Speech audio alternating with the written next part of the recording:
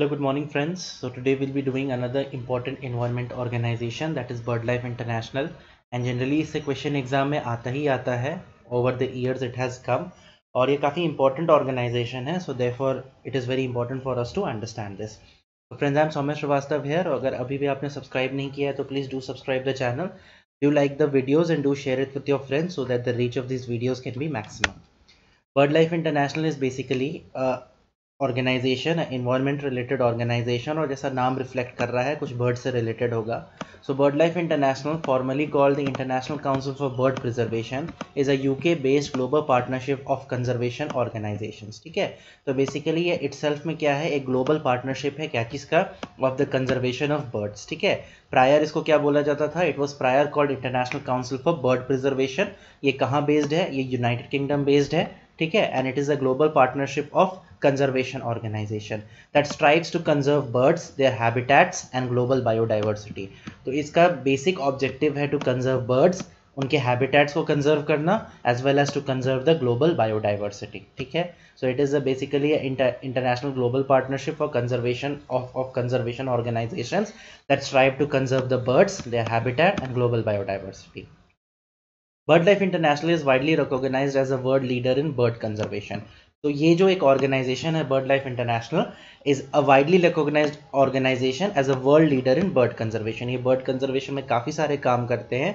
And day to day आप newspaper में इनके बारे में पढ़ते रहोगे कि बर्ड लाइफ इंटरनेशनल ने ये किया या बर्ड लाइफ इंटरनेशनल ने वो किया। So there this is a very relevant organisation and it is a widely recognise organisation it is the world largest partnership of conservation organisation ठीक है, ये वर्ल्ड का लार्जेस्ट पार्टनरशिप है। देखो बर्ड लाइफ इंटरनेशनल इट्सल्फ में कोई organisation नहीं है। ये क्या है? ये पार्टनरशिप है of conservation organisations various country से बहुत सारे कंजर्वेशन ऑर्गेनाइजेशंस हैं। वो, उन्होंने आपस में पार्टनरशिप किया है फॉर डेटा शेयरिंग और जो भी टेक्निकलिटीज है, वो शेयर करते हैं।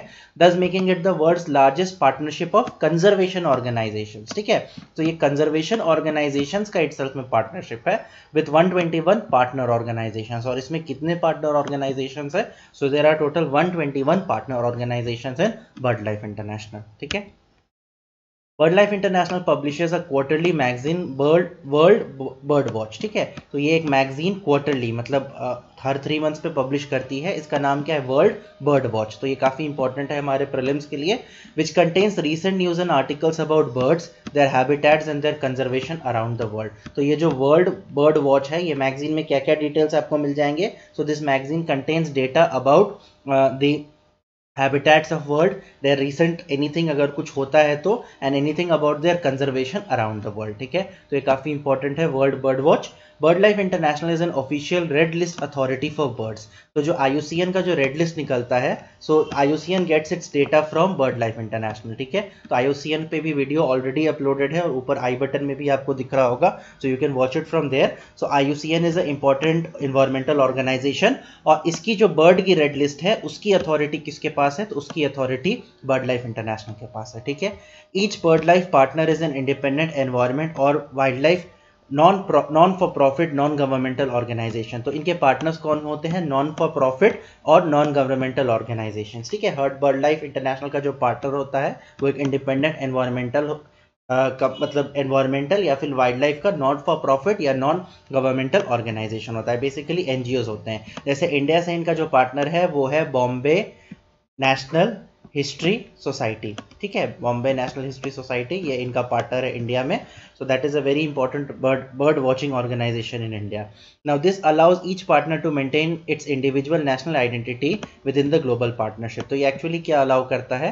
That it allows the partners to maintain their individual identity within the global partnership so bird life international publishers a quarterly report क्या नाम है रिपोर्ट का? वर्ल्ड बर्ड वॉच ठीक है? इसमें सारे भी बर्ड से रिलेटेड आर्टिकल्स न्यूज़ वगैरह रहते हैं। ठीक है? Bird life international is the official red list authority for IUCN तो आयुसीएन का ये ऑफिशियल रेड लिस्ट अथॉरिटी होता है। आयुसीएन में भी जो भी बर्ड्स रेड लिस्ट में पुट होते हैं, वो कैसे जाते हैं? वो बर्ड लाइफ इंटरनेशनल के थ्रू जाते हैं, ठीक है?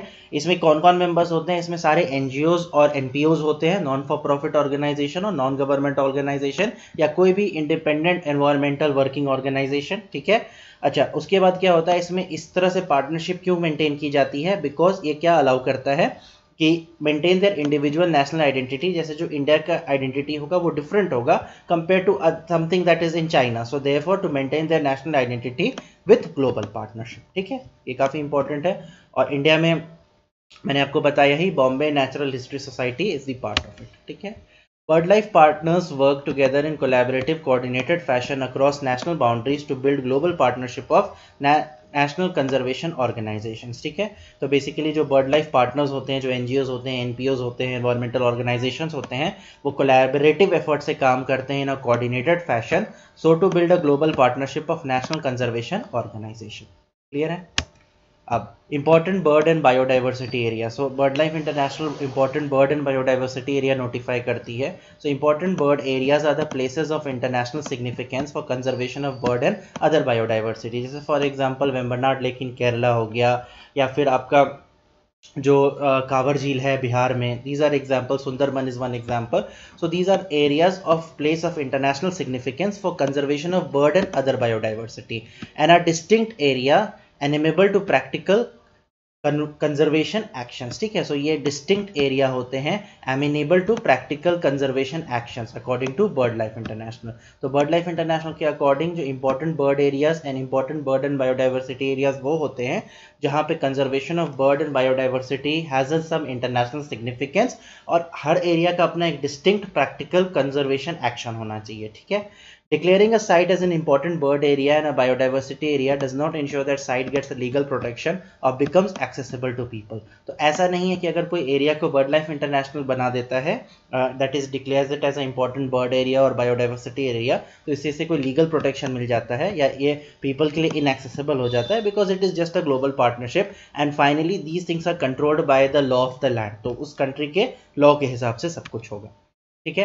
Instead bird life international encourages national and state government to recognize the area site of vital importance for conservation of wild life to empower local community based conservation initiatives तो basically bird life international क्या करता है? ये encourage करता है national और state governments को ताकि वो रिकॉग्नाइज करे such areas as vital area of importance of wild life और एम्पावर करे लोकल कम्युनिटी बेस्ड कंजर्वेशन जैसे कि Dipor bill. Dipor bill Bihar में one of the examples है, in which what happened is that community people are conserving the area, ठीक है? So, इसी type के कंजर्वेशन को बर्ड लाइफ इंटरनेशनल एनकरेज करता है, जिसमें स्टेट लेवल और नेशनल लेवल के government local power local community को एम्पावर करे फॉर कंजर्वेशन इनिशिएटिव जैसे पुलिकैट लेक के पास एक विलेज है in Tamil Nadu where people don't crack crackers ठीक है? बिकॉज़ इट स्केयर्स बर्ड तो this is some local community initiatives that have been taken ठीक है?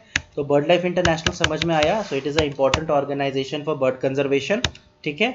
Basically it is a global partnership UK based है, जिसमें सारे N G partner होते हैं। It is recognize as a world leader of conservation और ये वर्ल्ड का लार्जेस्ट पार्टनरशिप है ऑफ़ कंजर्वेशन ऑर्गेनाइजेशन इसमें 121 कंट्रीज़ हैं।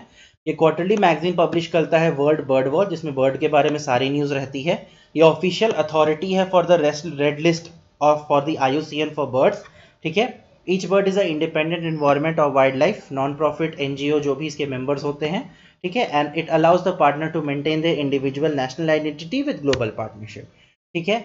ये क्या करता है? ये कोऑर्डिनेटेड और कलेक्टिव एफर्ट लाता है ताकि बर्ड्स का प्रॉपर कंजर्वेशन हो सके global partnership for national conservation organization ठीक है? अब नेक्स्ट इंपॉर्टेंट बर्ड एरियाज़ क्या होते हैं? Place of international significance for conservation of bird and other biodiversity declaring a site ऐसा नहीं करता बर्ड लाइफ इंटरनेशनल किसी को डिक्लेयर कर दे तो वो साइट इंश्योर हो गया लीगल प्रोटेक्शन के लिए। इंस्टेड ये लोकल गवर्नमेंट्स को एनकरेज करता है ताकि आप कम्युनिटी बेस्ड कंजर्वेशन एफर्ट्स लाओ। तो आई थिंक सारे टॉपिक्स क्लियर है बर्ड लाइफ इंटरनेशनल के बारे में। फिर भी कोई डाउट है तो do post in the comment section do rate review and recommend this lesson आप कमेंट सेक्शन में बताओ क्या चेंज करना है so that it can be noted and can be rectified So thank you friends and have a good day.